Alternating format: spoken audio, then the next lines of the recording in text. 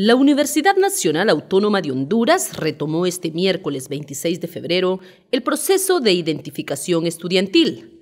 Y en esta nueva etapa, el procedimiento inicia con los estudiantes de reingreso de Ciudad Universitaria y del CRAED de Tegucigalpa informarle a todos los estudiantes de todas las carreras de aquí de Ciudad Universitaria y el CRAE Tegucigalpa que a partir de hoy se estará haciendo entrega del carnet estudiantil a todas las personas de reingreso. Lo vamos a hacer por número de cuentas. Así es que hoy empezamos con las cuentas más viejas que van desde el 9942 al 2016 100 2610.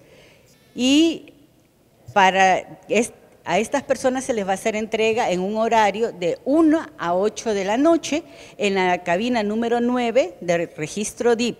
Ahí se les va a estar entregando lo que es su carnet. Hasta el día 16 de marzo vamos a estar entregando a todas las personas que son de reingreso, o sea, todas las cuentas del 2019 hacia atrás.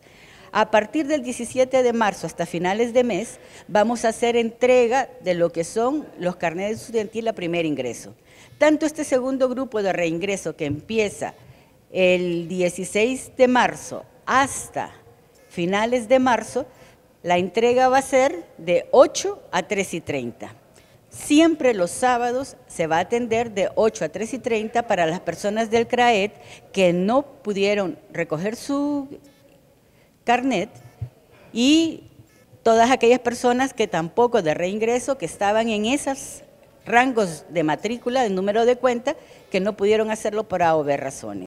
Estar matriculado en el actual periodo académico, presentar la tarjeta de identidad en el caso de ser mayor de edad, o partida de nacimiento acompañada de otro documento con fotografía para los menores de edad, destacan entre los requisitos que deberán cumplir los universitarios, para la obtención de su carné estudiantil. Son 27.464 estudiantes que todavía no tienen su carné y queremos en este tiempo entregárselos a todos. Así es que por favor esténse atentos para que cuando les toque lleguen y puedan así obtener su carnet, ya que este carnet es muy importante para la seguridad dentro de los campus.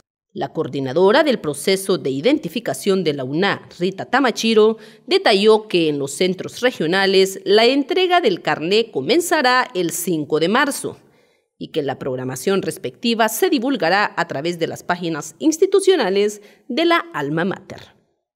Tamachiro recalcó que a nivel nacional restan por identificar un promedio de 27.000 universitarios. Laura Noelia Díaz, UTV.